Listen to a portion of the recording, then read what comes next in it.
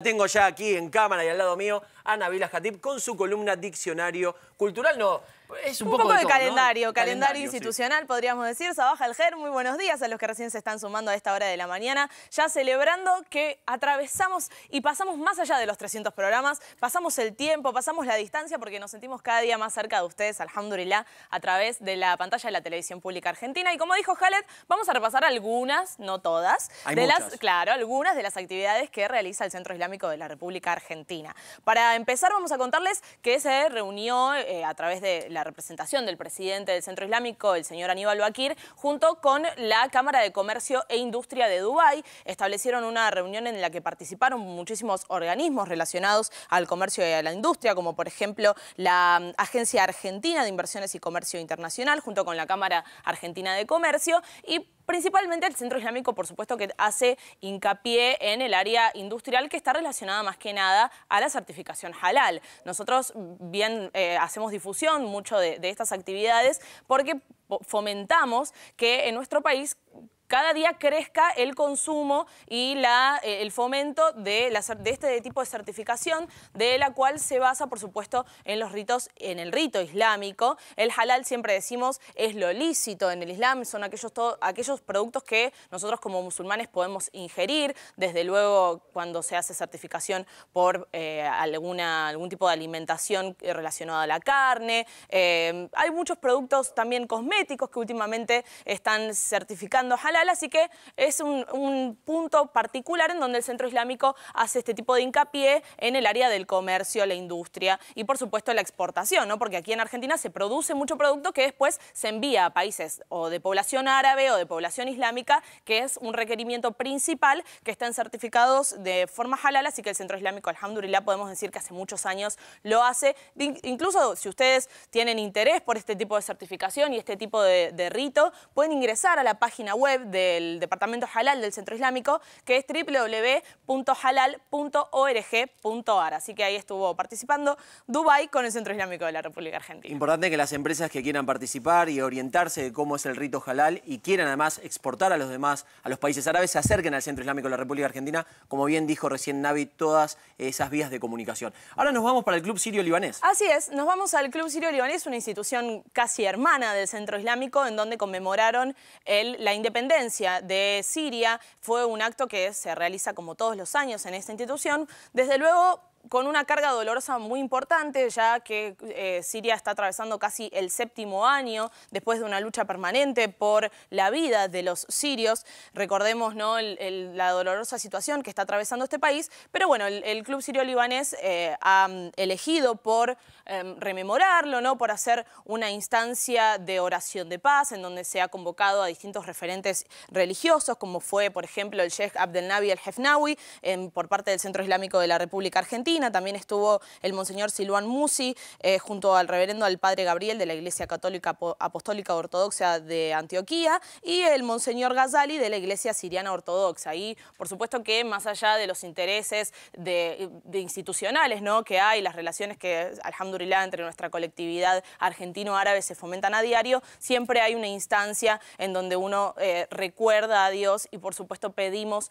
paz para el pueblo sirio y para todos los pueblos que estén atravesando una situación dolorosa como en este momento Siria. Así que nosotros no queríamos dejar de mencionar este acto del Club Sirio Libanés, en donde desde luego también participaron otras instituciones. El presidente, el señor Adiba Atie, también ha dado unas palabras eh, de bienvenida a aquellos que hayan estado allí presentes. Y de paso les comentamos que si ustedes quieren ver las fotos, si estuvieron presentes, si quieren verse en ese acto, lo pueden hacer a través de la página del diario del Sirio Libanés, que es www.diariosiriolibanés.com.ar. Tenemos también la Feria del Libro que ya la estuvimos mencionando el domingo pasado. Allí hay un stand del Centro Cultural Islámico Rey Fahed. Pero hay mucha información y además a mes estuvo cubriendo algo Sí, por supuesto que sí. Desde luego la gente tiene muchísimo interés en conocer y aprender respecto a nuestra religión y alhamdulillah podemos decir que en esta edición número 43 de la Feria Internacional del Libro aquí en Buenos Aires, la colectividad islámica también está presente como hace muchos años, eh, haciendo difusión de nuestra religión. El complejo Rey Fahd, que siempre tiene un stand, un puesto ahí en la feria, eh, reparten dátiles, la gente se puede llevar algún librito para, para aprender. Así que si ustedes todavía tienen tienen tiempo hasta el 15 de mayo para ir a visitar la feria. Les vamos a dar los horarios en nuestra página de Facebook para que puedan ir a, visitar y em, si quieren entrar justamente al, stand del complejo de Palermo, lo pueden hacer en el pabellón amarillo, el stand número 1622, el número 1622, en la calle 16. Así que también pueden entrar a la página web de la feria y ahí tienen todo desplegado el mapa, pueden eh, armarse como un itinerario, porque es muy grande, ¿no? Recorremos la, rural de Buenos Aires, es como para ir a pasar el día entero. Así hay que, ir con tiempo. Hay que ir con tiempo, muchas actividades también tiene la, Feria del Libro, pero queríamos destacar esta participación de la comunidad islámica. Como os decimos recién, justo también se da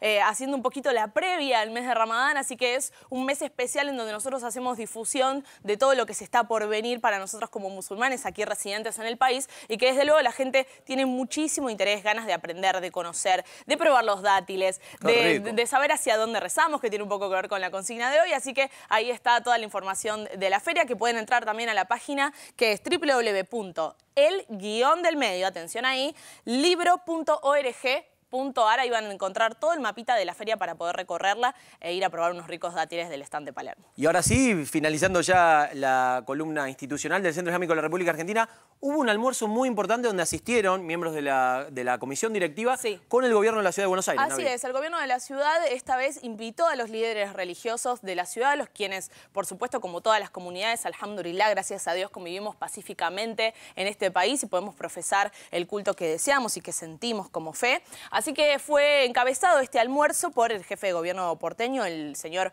Horacio Rodríguez Larreta, junto al vicejefe de gobierno Santilli, también estuvo Estrafaz, el secretario de gobierno, y por supuesto también estuvo presente el director de la Dirección General de Cultos de la ciudad, el profesor Federico Pugliese, que yo sé que tiene muchas ganas de venir al programa, así que en algún momento nos va a estar visitando. Este almuerzo estuvo liderado, como decíamos recién, por algunos referentes de distintas instituciones, como fue, por ejemplo, la Comisión de Ecumenismo y Diálogo Interreligioso, el Consejo Argentino de Libertad Religiosa, la Convención Evangélica Bautista, la Alianza Cristiana de Iglesias Evangélicas, la Iglesia Siriana en Argentina, desde luego el Centro Islámico de la República Argentina, representado por el Sheikh, quien siempre da algunas palabras. Por lo general recita la Sura al-Fatiha, ¿no? que es la Sura eh, que todos los musulmanes siempre decimos, que es la Sura que abre el libro justamente, es una buena instancia para poder emprender cualquier tipo de actividad, siempre decir la Sura al-Fatiha de por medio. Así que ahí estuvo el Centro Islámico presente. Desde desde luego hablando de cuestiones que tienen que ver en común con todos los cultos que mm, vivimos aquí en la ciudad y que siempre alguna actividad en común hacemos o nos visitamos, nos frecuentamos. Por ejemplo, cuando es ahora Ramadán, siempre se invita a hacer un iftar, la ruptura del ayuno a otras instituciones, cuando es Aid el Fitr, cuando es Aid al-Adha. Así que, alhamdulillah, eh, esas relaciones se fortalecen a diario y esta vez fue en el ámbito gubernamental eh, encabezado por eh, el jefe de gobierno porteño. Mucha prensa que hubo y, por supuesto, las cámaras del También estuvieron allí. Para la próxima semana, inshallah, tenemos la cobertura completa. gracias, Navi, como por favor, gracias a ustedes. Y bueno, esperemos que el Centro Islámico entonces siga teniendo muchísimas actividades para que tanto ustedes como nosotros podamos participar y darlas a conocer en este espacio que tenemos, alhamdulillah, en la televisión pública. Calendario institucional y nosotros ahora vamos a ir a una breve pausa muy cortita. Se viene Abderramán Colombo, la receta de la sede y mucho más. Pero como lo hacemos siempre, habitualmente, para irnos a estos cortes, vamos a compartir un hadiz. ¿Qué es un hadiz? Son los dichos del profeta Muhammad, la paz y bendiciones de Dios sean con él. Y en esta oportunidad habla que el creyente es como una palmera.